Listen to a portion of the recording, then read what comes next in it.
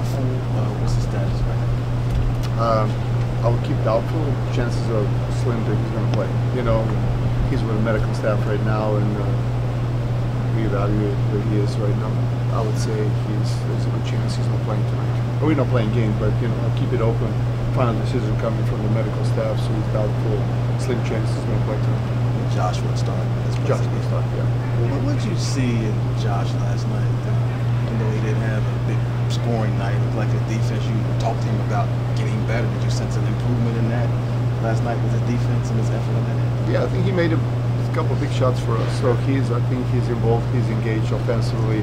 Uh, as, a, as a young guy, um, he always competes. Josh Jackson always plays hard, competes. We have no problem with his effort. But we, as we know, when this level, you have to play well too. You have to play. You know, you have to know scouting report. You have to know who you're guarding. You have to execute the game plan. You know, competing playing hard should be given thing. Should be something that we he can rely always on, and that's a talent playing hard with talent. He does play hard, but also he's got as a young player is learning how to play with the poise, how to make the right decisions, how to execute game plan, not to rush into the decision offensively, defensively. So uh, he's showing, uh, I think, improvement from where he was starting the season. And right now, I think his game is different. I would say better. Has Luka done what you expected? I mean, when he has, what he's produced, did you expect him to have put up these kind of numbers, have that kind of impact? Yeah, I'm not surprised at all. You know, he he, he follows uh, he followed the steps that I think it was very important for a young player.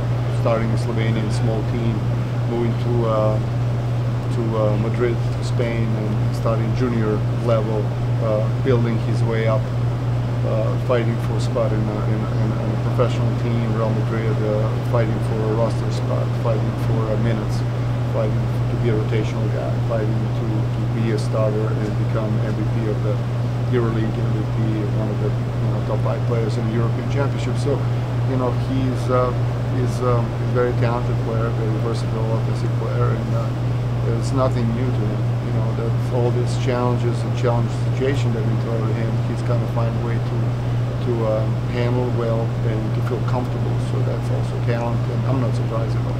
What Do you makes have any idea what his ceiling is? You know, I wish him nothing but the best. You know, he represents the little country Slovenia. He represents European basketball. He is upcoming, uh, I would say, you know, good NBA player. Right. You know, wish him, wish him uh, nothing but the best. You know, like I wouldn't predict when it comes to the. I don't want to be right or wrong. You know, I think he's he's growing into the very, very, very special player. what makes the step back three, Luka's step back three, such a dangerous weapon? Step back threes. Yeah, for him. That's that's one of the you know things that he in his repertoire. he loves that. He loves. He's not afraid of moment. He practiced that shot. I'm not. I'm not sure now with Dallas, but national team he will take the trainers and he will play whoever is in the gym. He wants to play one on one. Reminds me a little bit on Steve Nash and Dirk Nowitzki 20 years ago when I was here watching these guys playing. They will play one on one whole practice long. Luka, if you put him in the drills, he'll give you okay. He'll be okay. But if he plays one on one, whoever he can play with you guys, uh, he's going to accept the challenge. He, is, he, he wants to play. That's he's, he's a kid. He, he's always playing basketball. So- that's so- talent too. So he's been shooting that shot as long as you've known him, right? Yeah. Yes, that's, that's what he does. Do you get any credit for it? Going left. Going left. Do Going you get any left credit for it? Did you show him the shot or? Yeah, that's that's it's kind of joke that it's kind of circling around. You know, when I started coaching the national team, and we had a coaches meeting as a staff, and then we just acknowledged that how much we how much impact we had after four practices on him growing as a player, and what we did, and we did a miracle, just helping grow as a player. So, so we're taking all credit for him being where he is right now. There's a lot of players from around that area, former Yugoslavia. Is there something about how they train players growing up there that makes them more successful or more suited to the NBA nowadays? It's kind of a complex question because you know it's going to mix a lot of different things when it comes to the, the way that you know it's tall people live there. You know, one of the top- tallest people in in, in, in Europe, um, and uh, the character. You know, and they're taking basketball and sports very very serious. You know, those guys are practicing. They're not spoiled. And when it comes to the you know two sessions a day, it's a normal daily routine. You don't ask why. You don't know better. You just practice, practice, get better, work on your game, and you had a lot of success in the last almost 40 years. You know, national team, Yugoslavia national team, and then after unfortunately civil war, all these countries are separate, but they all um, have a good national teams and the standards that these kids can, you know, they can follow those idols and and, and an older generation who kind of set a tone and set a set of standards when it comes to the what's the what's a good basketball players what do you need. So he had a lot of good players to follow and uh, from the former Yugoslavia, you know, Serbian, Croatian, Slovenian. So pretty good basketball playing. Yeah. Is there a lot of unity between players from, even though it's, it's a bunch of different countries now? Do you think that players from that region still feel a sort of kinship and support for each other, even whether they're from Serbia or Slovenia or Croatia or just being in that area? Do you think they support each other?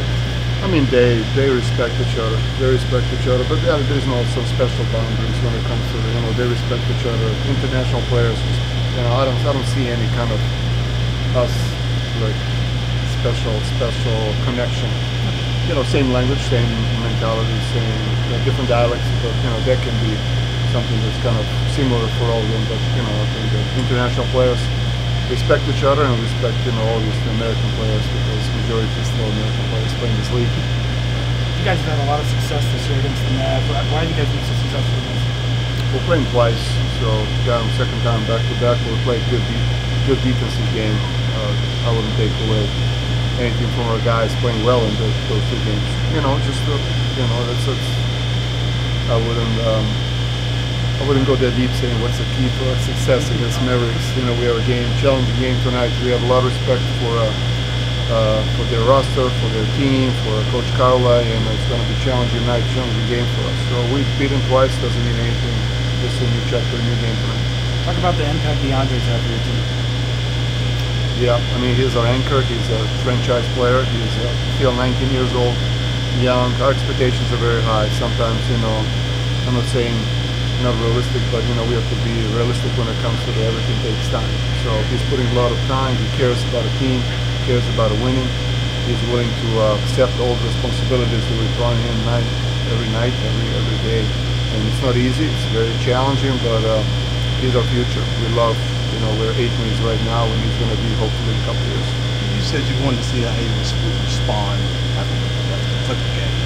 Last two games, how would you assess how he's responded? Ayton, he was he was all talking. You know, that was his voice in the locker room right before the game, and he was talking about a specifically about uh, Sacramento game, what he did to us in game one. You know, bad start. He was blaming all of us. You know, like we all you know taking blame for that, but himself too. That he's got to do a better job, and that's what truly leader does. You know, doesn't point finger at other people and he'll say, I have to do a better job, and that's what he did. I think his voice present, you know, it's, it's very important, and that's he wants to be a leader of this group. That's that's that's the right thing to do. You know, call himself out and, and, and take all these responsibilities as a leader.